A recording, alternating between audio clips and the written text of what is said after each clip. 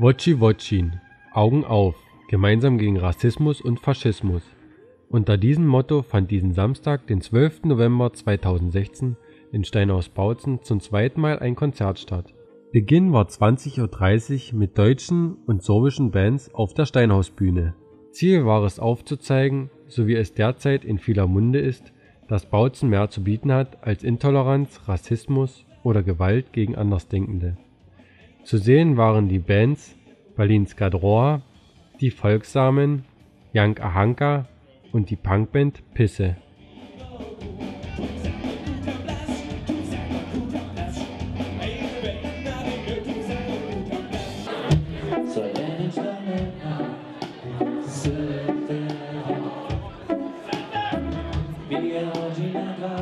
Beata, Beata, Beata.